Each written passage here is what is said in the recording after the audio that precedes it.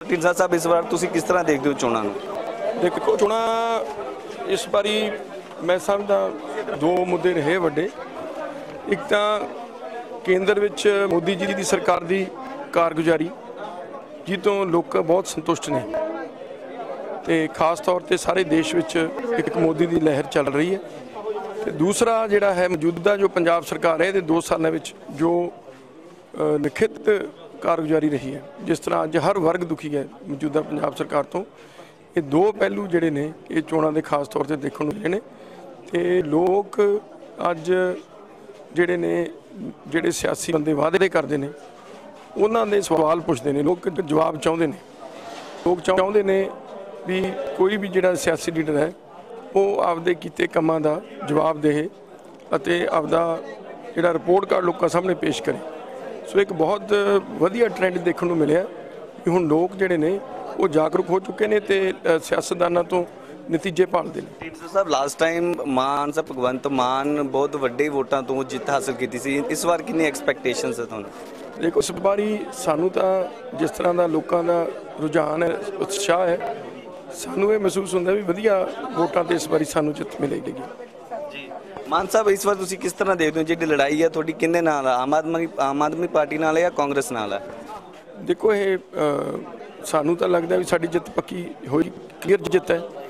ਤੇ ਮੈਨੂੰ ਇਹ ਲੱਗਦਾ ਵੀ ਹੁਣ ਦੂਜੀ ਪੋਜੀਸ਼ਨ ਵਾਸਤੇ ਲੜਾਈ ਇੰਦਰ ਸਿੰਘ ਢੀਂਡਸਾ ਦੀ ਮਿਸਿਸ ਗਗਨਦੀਪ ਇਸ ਵੇਲੇ ਸਾਡੇ ਨਾਲ ਮੌਜੂਦ ਨੇ। ਗਗਨ ਜੀ ਕਿਸ ਤਰ੍ਹਾਂ ਦੇਖਦੇ ਹੋ ਤੁਸੀਂ ਇਹ ਚੋਣਾਂ ਜਿਹੜੀਆਂ ਹੈਗੀਆਂ? ਤੁਹਾਡੇ ਹਸਬੰਡ ਇਲੈਕਸ਼ਨਾਂ ਦੇ ਵਿੱਚ ਖੜੇ ਹੋਏ ਨੇ ਉਮੀਦਵਾਰ ਨੇ ਅਕਾਲੀ ਦਲ। ਦੇਖੋ ਜਿਹੜਾ ਵੋਟਰ ਆ ਬਹੁਤ ਸੂਝਵਾਨ ਆ।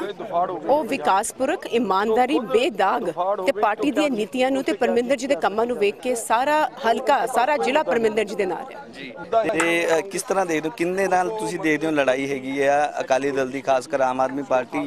ਜਾਂ ਕਾਂਗਰਸ? ਇਹ ਮੈਨੂੰ ਲੱਗਦਾ ਹੈ ਸਭ ਤੋਂ ਜ਼ਿਆਦਾ ਕਨਫਿਊਜ਼ਨ ਹੈ ਪਤਾ ਹੀ ਨਹੀਂ ਲੱਗ ਰਿਹਾ ਲੜਾਈ ਕਿਹਦੇ ਨਾਲ ਲੱਗਦਾ ਹੈ ਸਾਰੇ ਵੋਟਰ ਹੀ ਪਰਮਿੰਦਰ ਜੀ ਦੇ ਨਾਲ ਜੀ। ਬਿਲਕੁਲ ਇਹ ਸਨ ਗਗਨਦੀਪ ਜੀ ਜੋ ਕਿ ਮਿਸਿਸ ਨੇ ਪਰਮਿੰਦਰ ਸਿੰਘ ਢੀਂਡਸਾ ਦੇ ਜਿਨ੍ਹਾਂ ਦੀ ਇਹ ਇਹਨਾਂ ਕਹਿਣਾ ਹੈ ਕਿ ਕੋਈ ਇਹਨਾਂ ਦੀ ਕਿਸੇ ਵੀ ਪਾਰਟੀ ਨਾਲ ਲੜਾਈ ਨਹੀਂ ਹੈ ਤੇ ਉਹਨਾਂ ਕਲੀਅਰ ਕੱਟ ਉਹਨਾਂ ਦੀ ਜਿੱਤ ਹੈ। ਕੈਮਰਾਮੈਨ ਦਰਸ਼ੀ ਦੇ ਨਾਲ Prahlad Sangelia daily post news Sangrur.